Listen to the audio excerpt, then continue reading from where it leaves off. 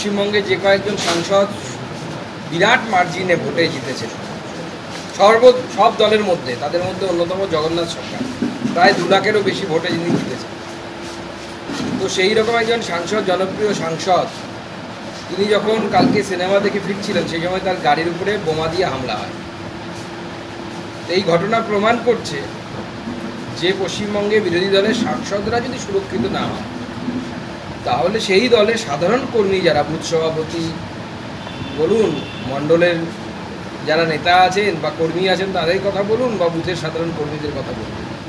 তাদের অবস্থা কতটা খারাপ, তা সহজেই অনুমেয়। শুধু তাই নয়, তার সাথে কলকাতায় গতকাল একসাথে শ্যুট আউট হয়েছে দিনের বেলা। তার কিছুদিন আগে আমরা দেখলাম, দুজন কাউন্সিলর একই দিনে তাদেরকে হত্যা করা হলো। এবং তার যে সিসিটিভি ফুটেজ সে হার হিম করে দেওয়া দৃশ্য আমরা চোখের সামনে দেখি। পানিহাটিতেও গতকালকে খুন হয়েছে। এই যে ঘটনাগুলো ঘটছে পানিহাটির ঘটনা বলুন বা অন্যান্য ঘটনাগুলো ঘটছে এই ঘটনা প্রমাণ করছে পুলিশ মন্ত্রী যিনি আছেন যিনি একাধারে পুলিশ মন্ত্রী একাধারে আমাদের মাননীয় মুখ্যমন্ত্রী তিনি তার প্রশাসনকে নিয়ন্ত্রণ করতে সম্পূর্ণরূপে ব্যর্থ। ওনার আরেকবার উত্তরপ্রদেশে যাওয়া উচিত। আমাদের উত্তরপ্রদেশের সদ্য নির্বাচিত মুখ্যমন্ত্রী যোগী আদিত্যনাথ তার কাছ থেকে শিখে আসা উচিত প্রশাসন কীভাবে নিয়ন্ত্রণ করতে হয় আর এই সমস্ত দুষ্কৃতিকারীদের সাথে কী ধরনের আচরণ করতে হয়। বললাম যে, অত্যন্ত ভয়ঙ্করজনক অবস্থা এই মুহূর্তে অবস্থান করছে। আরও বিভিন্ন ঘটনা বিভিন্ন জায়গায় ঘটেছে আপনারা জানেন।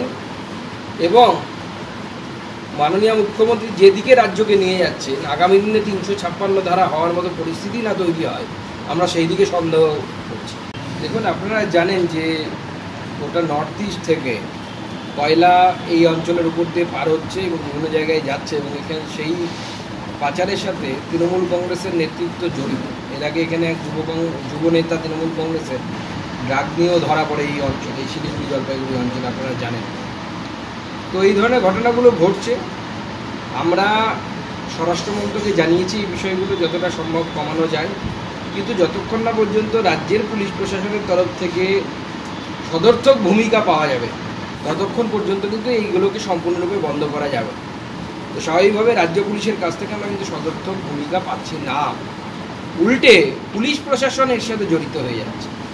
পুলিশ প্রশাসনের অনেক নেতৃত্ব স্থানীয় অফিসার মানে যারা উপরের দিকের অফিসার, তারা কিন্তু এই পয়সার ভাগ পাচ্ছে এবং তাদেরকে অনেক ক্ষেত্রে বাধ্য করা হচ্ছে। তৃণমূল কংগ্রেসের ঘরে পয়সা ঢুকিয়ে দেওয়ার জন্য তাদেরকেও কিছুটা পার্সেন্টেজ দেওয়া হচ্ছে এবং তাদেরকে তৃণমূল কংগ্রেসের পয়সা ঢোকানোর জন্য এই কাজগুলো করতে বাধ্য করা হচ্ছে। আগামী দিনে তারা সিবিআইয়ের হাতে পড়বেন আর কি অপেক্ষা করতে হবে কবে সিবিআই তদন্ত আবার এই অঞ্চলে শুরু হবে এবং শুরু হলে পরে তখন আমার পুলিশ অফিসাররা দৌড়দৌড়ি শুরু- শুরু করবেন তখন সিবিআই টান চা খেতে। গরু পাচার কি বলবেন? এতটাই বেড়েছে গরু পাচার আমরা দেখতে পাচ্ছি কি বলবেন?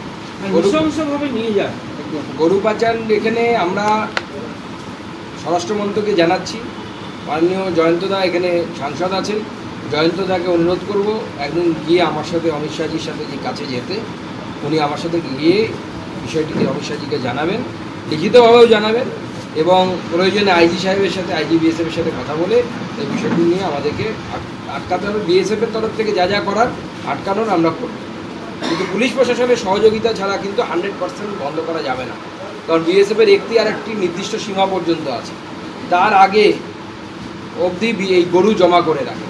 আর আপনারা জানেন যে অনেক জায়গায় ল্যান্ড ডিসপিউটের জন্য এবং রাজ্য সরকারের ল্যান্ড অধিগ্রহণ না করার মানে অনিচ্ছার জন্য ফেন্সিং সব জায়গায় সম্পন্ন হয়নি। তো স্বাভাবিকভাবে ওই পনেরো কিলোমিটার আগে যদি গরু জমা করে রাখে, আর রাত্রিবেলা হঠাৎ করে নিয়ে দৌড়চ্ছে এবং তার সাথে বিভিন্ন অস্ত্রশস্ত্র নিয়ে এরা বিএসএফের উপর হামলাও করে। কুচবিহারের ঘটনা আপনারা দেখেছেন। সেখানে বিএসএফ বাধ্য হয়েছিল গুলি চালাতে এবং কিছু বাংলাদেশি নাগরিক মারা যায় সেই গোলাগুলিতে।